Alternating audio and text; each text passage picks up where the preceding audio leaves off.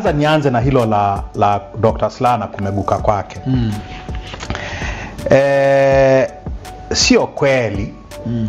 kwamba Dr. Slaa Mm. alimeguka kwa sababu ya Lowassa kuwa mgombea urais wa Chadema. Mm. Sio kweli, mm. licha yeye kusema hivyo, lakini sio kweli, mm. sio kweli kwa sababu kuna kitu nimekisema mimi binafsi mara kadhaa, hakijawahi kujibiwa na Dr. Slaa mwenyewe wala mtu mwingine yote.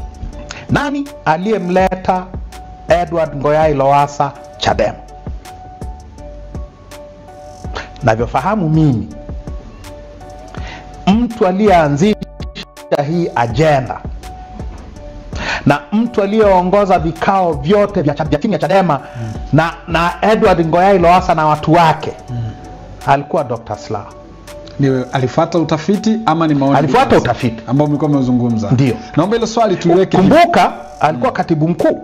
Mm. Huu utafiti naozungumza unakwenda kwa mara kwa- unakwenda kwa, kwa, kwa ofisi gani kwanza kabla wengine sisi hatujafanya nini Mm, hatuja hatujausikia Ndio mtendaji mkuu unaenda ofisi ya katibu mkuu mimi mimi nafikiri mimi binafsi nafikiri nilikuwa mtu wa mwisho kujua mambo haya mimi mwenyewe na mtu aliyenijulisha haya mm.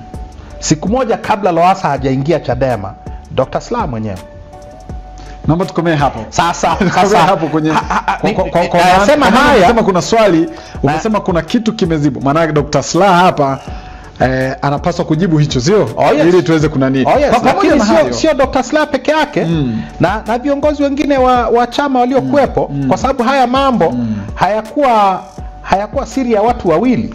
Haya mambo yaliletwa kwenye kamati kuu ya chama Mm.